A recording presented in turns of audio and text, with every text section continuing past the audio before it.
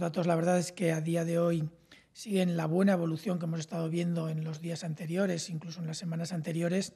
Tenemos a día de hoy 1.175 nuevos casos, lo que supone un incremento del 0,5 respecto al día anterior.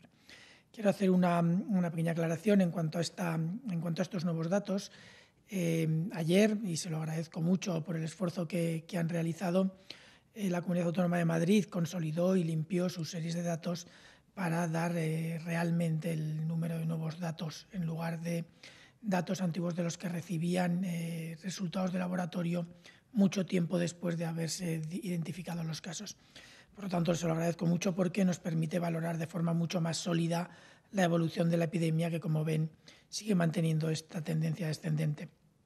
También tenemos siempre dentro de lo que ello representa una tendencia eh, favorable en cuanto al número de, fallecidos. Eh, nos mantenemos por debajo de los 300 fallecidos, en concreto 281. Llevamos ya varios días eh, con casos, con fallecidos por debajo de los 300, lo cual es obviamente una buena, una buena noticia respecto a las semanas anteriores, pese a que, como digo, son, son cifras que querríamos ver siempre a cero.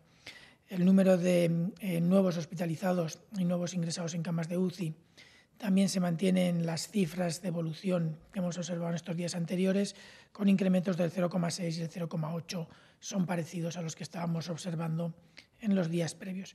Y, como siempre, una cifra, como siempre en los últimos eh, días, una cifra que nos va eh, marcando claramente esa mejoría en la situación es la cifra de nuevas, de nuevas altas o de nuevos curados, que eh, hoy ha sido 2.628 comparado con esos 1.175 nuevos casos.